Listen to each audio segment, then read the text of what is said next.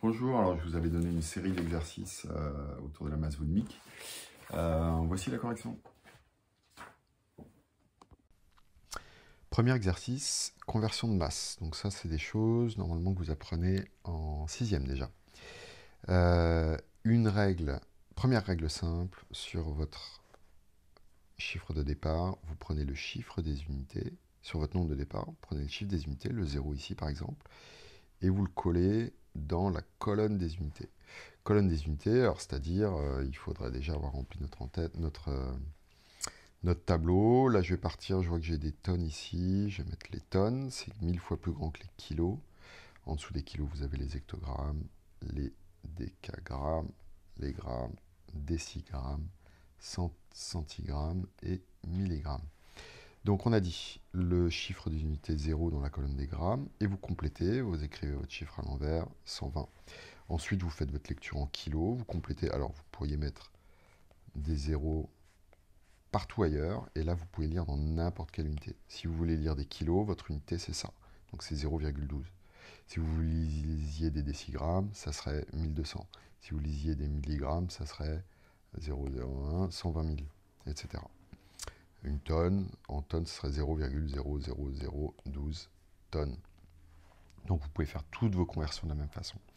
Euh, voilà, donc ici, pour des kilos, en l'occurrence, c'était 0,12 kg. 0,12 kg. et de la même façon, kilogramme, pardon, de la même façon, vous trouvez, je vous mets juste les valeurs corrigées, 17 euh, 300 grammes, hein, c'est-à-dire que euh, C'est votre 7 qui est le chiffre des unités qu'il faut mettre dans les kilos. Le 7 est ici, donc 17 300. Vous pouvez compléter le 0. vos tonnes, c'était 0,003, donc le 0 des tonnes, il allait là. ensuite, on avait ça. Donc pareil, si vous allez jusqu'au décigramme, il faut compléter pour avoir les valeurs. Euh, et même chose ici, vos milligrammes, c'était 32 400 milligrammes. Donc vous écrivez votre 32 400 à l'envers. 32 400 mg, et si vous voulez des décagrammes, eh ben vous savez directement que c'est 3,24. Euh, voilà, 3,24, et j'ai pas mis le chiffre pour les précédents, mais c'était 30 000 décigrammes. Décigrammes, 3,24 décagrammes. Euh, voilà, bon ça on l'a vu pas mal, j'ai d'autres capsules sur les corrections, j'en parle un peu plus longuement. Pour les volumes, même chose, euh, attention, n'oubliez pas que vous avez deux colonnes d'entête ici, il y a à la fois ce qu'on appelle les capacités, c'est-à-dire tout ce qui va être euh, lié au litre. Hein, on va mettre le litre ici par exemple. Et euh, en dessous, au-dessus, vous avez les volumes, c'est-à-dire tout ce qui est dérivé du mètre cube. Hein, c'est aussi l'espace occupé, hein, c'est la, même, euh, la même signification physique, c'est juste l'unité qui est différente. Et un litre, c'est la même chose qu'un décimètre cube. Attention, 10 fois plus petit que le décimètre cube, c'est pas la colonne juste à côté. Euh, enfin 10 fois plus petit, ça serait la colonne à côté, mais il n'y a pas d'unité euh, en cube exprimée, parce que si vous passez du décimètre cube au centimètre cube, vous êtes à la fois 10 fois plus petit en largeur, en longueur, en hauteur, sur votre euh, calcul de volume, si c'était un cube par exemple. Donc vos centimètres cubes, ils seraient ici. Donc 10 fois plus petit que les centimètres cubes, en fait, bah, ça serait des décilitres. Hein. Il va falloir utiliser des capacités, parce que là, vous n'avez pas d'unité pour ça. Donc décilitres, centilitres, millilitres. Je complète pour les capacités, décalitres, hectolitres c'est 100 litres, kilolitres on n'utiliserait pas, ça serait ici. Euh, là, on, plutôt que des kilolitres, on va parler, quand vous avez 1000 litres, on va parler d'un mètre cube. Voilà, donc ça en gros, euh, c'est les unités dont on va avoir besoin. Ici, on va même aller jusqu'au millimètre cube. Hein, je vois les millimètres, des millimètres cubes ici. Euh, voilà, alors, bah pour les conversions, ensuite, c'est exactement le même principe. Vous utilisez, vous mettez le chiffre des unités, par exemple le 2 ici, dans la colonne des unités, 2 dans vos décimètres cubes, le 2 il est là, donc le 1 est juste à sa gauche, et vous convertissez en litres. Ah bah en litres, euh, litre décimètre cube, c'est la même chose, donc on est toujours sur du 12. Euh, voilà, même principe, et donc normalement vous allez trouver 0,173 millilitres, 300 centilitres, 340 cm3. Euh, si vous ne trouvez pas là-dessus, reportez-vous euh, à mes capsules de conversion séparées. Ensuite, alors, toujours sur des conversions, mais cette fois-ci des conversions de masse volumique. Alors attention, conversion de masse volumique, on a des unités composer, un peu comme les unités de vitesse. Donc je vous ai montré une méthode. Euh, voilà, vous pouvez aller plus vite si vous êtes bien à l'aise, mais vous pouvez sinon toujours euh, reprendre cette méthode que je vous ai montrée, qui est la suivante. Si vous voulez convertir, là on veut convertir en grammes par décimètre cube, notre, nos 1060 kg par mètre cube. 1060, si je réécris le chiffre sans faire d'erreur, ça va être mieux, 1060 kg par mètre cube, vous allez écrire ça sous la forme d'une fraction. Ça veut dire que 1060 kg, ça serait le poids de 1 mètre cube. Hein, donc je sépare la masse et le volume. Et ensuite, vous allez faire deux conversions successives. Vous voulez des grammes par décimètre, cube, c'est-à-dire que vous voulez que vos kilos deviennent des grammes. Et vous voulez que vos mètres cubes soient exprimés maintenant en décimètres cubes. Et là, on a deux conversions qu'on sait faire. La conversion de masse, c'est simple. La conversion de volume, c'est simple. Donc on traite ces deux conversions séparées. 1060 kg, ça fait 1 60 000 grammes. Alors je vous conseille d'utiliser des séparateurs, de mettre un peu plus d'espace, euh, faire des séparateurs de milliers, parce que ça sera plus clair au niveau de vos... Surtout quand vous avez des grands chiffres. Et un mètre cube, euh, ça fait combien de décimètres cubes? C'est-à-dire ça fait combien de litres? Ça fait 1000, on va utiliser le tableau si nécessaire. Euh, ici, ça fait 1000. Hein. Et on voit bien que si vous redivisez ça, vous allez retomber sur le chiffre 1060. Le chiffre n'a pas changé, mais pourtant l'unité est différente. Maintenant, c'est des grammes par décimètre cube. Donc parfois les chiffres changera, parfois vous retombez sur la même valeur, parce qu'ici le kilo était mille fois plus grand que le gramme, et le mètre cube était mille fois plus grand que le décimètre cube. Donc finalement, le rapport entre les deux n'a pas changé. Ensuite, ensuite, il fallait juste raisonner sur ces valeurs de masse volumique. On comparait euh, notre châtaignier, qui est un bois qui est assez dense, 1060 hein, kg par mètre cube, à l'eau de l'Atlantique et à l'eau de la mer Morte. Alors, euh, qu'est-ce qui se passe si on fait un radeau en bois? Un radeau, hein, si vous mettez des troncs d'arbres ensemble, vous les collez pour faire une sorte de bateau de, fortune. Euh, est-ce que ça va flotter? Est-ce que ça va couler? En gros, si vous jetez un tronc de châtaignier dans, la mer Morte ou dans l'Atlantique, qu'est-ce qui se passe? Ben, Dans l'Atlantique, l'eau de l'Atlantique, on est à 1025 kg par mètre cube, c'est-à-dire que la masse volumique est plus faible que celle du châtaignier. C'est-à-dire que le châtaignier est plus dense que l'eau de l'Atlantique. Donc votre tronc de châtaignier, il va couler. C'est du bois, mais c'est un bois qui va couler. Alors que dans la mer morte, qui est une eau salée, on a vu que le sel augmentait la densité de l'eau, on est carrément à 1240 kg par mètre cube. Donc c'est vraiment une eau très dense. Dans cette mer morte, le bois, ce châtaignier va réussir à flotter. Donc que peut-on prédire? Bah, Notre radeau flottera sur la mer morte, mais coulera sur l'Atlantique, car sa masse volumique est intermédiaire entre celle de euh, l'eau de l'Atlantique et celle de la mer morte. Voilà, exercice numéro 4. On doit faire des comparaisons de masse volumique. Je vous ai fait ici directement les conversions. Si vous voulez comparer des masses volumiques, il faut que les masses volumiques soient toutes dans la même unité. Là, vous ne pouvez pas comparer. On peut comparer celle-là et celle-là. Pourquoi? Parce que des grammes par litre et des grammes par décimètre cube, c'est la même chose. Un litre est égal à un décimètre cube. Donc on peut comparer ces valeurs-là. Et d'ailleurs, c'est pour ça qu'on va utiliser, on va tout convertir ici en grammes par décimètre cube ou en grammes par litre, ça revient à la même chose. Euh, parce que du coup, il y, a, deux calculs qui sont déjà faits. Hein, plutôt que tout mettre en grammes par centimètre cube ou en kilo par mètre cube. Donc on fait les petits calculs, euh, vous faites les conversions, une fois que vous avez tout mis dans la même unité, vous pouvez faire les comparatifs. Et vous allez voir que le plus dense, c'est le diamant, suivi du marbre, suivi de la pierre ponce, suivi du charbon. Euh, voilà, et on peut les mettre dans l'ordre. Le plus dense, c'est-à-dire la masse volumique la plus grande, le moins dense, la masse volumique la plus faible.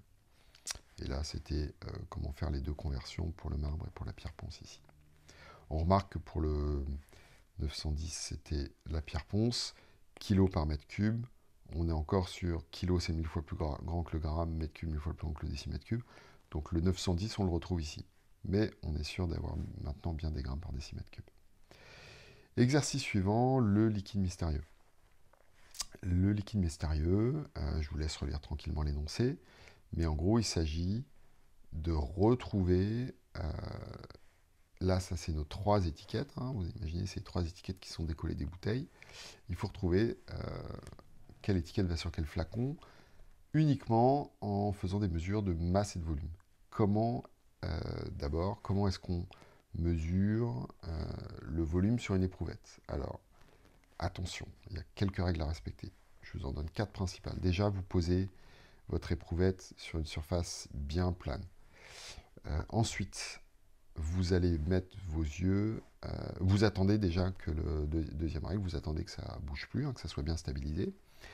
Euh, ensuite, vous placez vos yeux à, hauteur de ce que vous observez. Vous ne devez pas observer, vous devez pas observer par-dessus ou observer par-dessous. Vous devez être bien à la bonne hauteur. Et puis, euh, chose importante, vous avez en bleu, euh, ce que vous avez en bleu ici, c'est le ménisque, qui n'est pas plat, hein, ça remonte un peu sur les bords. Donc, il va falloir lire euh, vos instruments, ils sont prévus pour que la lecture se fasse sur le bas du ménisque. Hein, quand ils ont gradué ça, ils ont, ils ont, ça a été conçu pour que ça soit le bas du ménisque, votre niveau de mesure. Donc, vous faites un trait bien droit, pas comme celui que j'ai tracé. Voilà, très bien droit. Il doit être exactement au bas du ménisque. Votre œil doit être situé à la bonne hauteur pour faire votre mesure. Et là, qu'est-ce qu'on lit? Euh, ben, On lit qu'on est deux graduations et demie au lieu de 50. Alors attention, c'est pas du 51, 52 et demi. Non, parce que chaque graduation, euh, chaque graduation qu'on a ici, elle vaut combien? Ben, On voit qu'on a une, deux, trois, quatre, cinq graduations pour passer de 50 à 100. Donc on est monté de 5 ans. Donc chaque graduation doit correspondre à 10. 10, 20, et encore une demi-graduation, c'est-à-dire 5 de plus. 50, 60, 70, 75. Donc notre lecture de volume ici, c'est 75 millilitres. Voilà, mesure du volume aussi précisément que possible. 75 millilitres, on ne peut pas être plus précis que ça. Deux chiffres significatifs, c'est déjà pas mal. Et deux points importants parmi les quatre que je vous ai dit tout à l'heure. Le plus important, c'est le ménisque et avoir les yeux à la, même hauteur. Euh, bon, euh, voilà, les deux autres sont un peu plus évidents. Il faut bien sûr que l'eau ait arrêté de bouger et que vous soyez sur une surface plane, c'est sûr. Indique comment s'y prendre pour mesurer la masse d'un liquide avec une balance. Alors, euh, mesurer la masse d'un liquide avec une balance. Bah, si vous mesurez un liquide, vous allez forcément devoir le mettre dans un récipient. Donc tout simplement, il faut que vous me parliez de la tare, c'est-à-dire refaire le zéro une fois que vous avez placé votre récipient sur la balance. Vous allumez la balance, vous mettez le récipient dessus, vous faites le zéro ou la tare pour que ça remette bien le chiffre à zéro. Ensuite, vous pouvez enlever votre récipient, mettre le liquide dedans, le remettre sur la balance ou verser directement le liquide sur la balance. Mais il faut bien avoir fait la tare avant, sinon votre masse sera euh, la masse du récipient plus celle du liquide. Et nous, on veut juste mesurer la masse du liquide. Euh, sachant que la masse mesurée était de 69,1, calcule la masse volumique. Alors, bah, là, vous me rappelez quelle est... Euh, vous me rappelez alors ce que vous calculez, masse volumique, deux points, ρ, vous me rappelez le symbole de la masse volumique, vous me rappelez la formule, m divisé par v, égale, la masse c'est 69,1 divisé par, on avait dit 75 millilitres, donc 69,1 divisé par 75 millilitres, ça va nous faire du...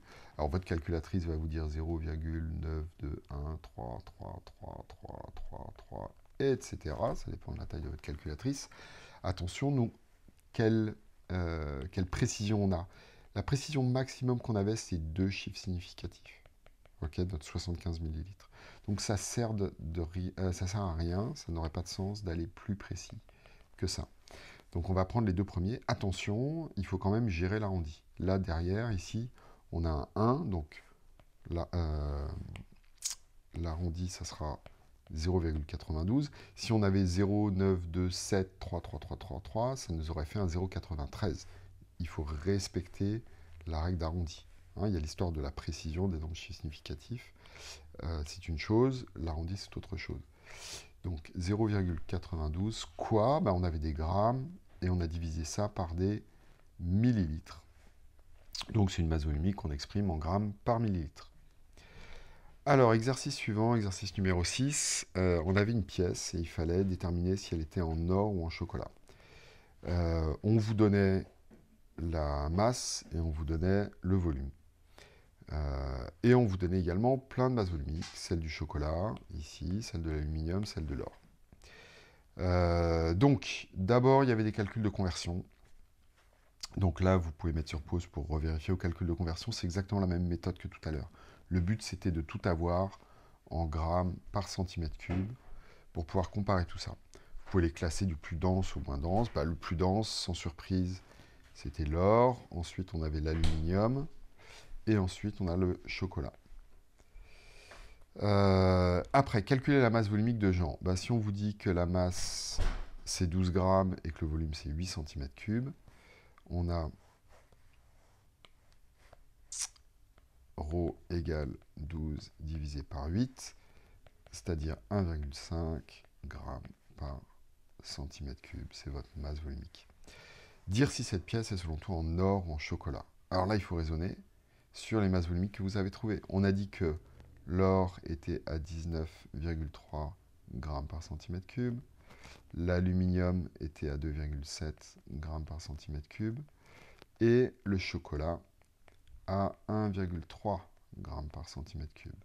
Donc on voit qu'on est un petit peu au-dessus du chocolat. Et ce qui est normal, parce que votre pièce en aluminium, votre pièce en chocolat, c'est une pièce qui est essentiellement constituée de chocolat, mais avec un petit peu d'aluminium autour. Et comme l'aluminium c'est 2,7, on va alourdir, densifier légèrement par rapport au chocolat et être un peu plus que 1,3 g par centimètre cube.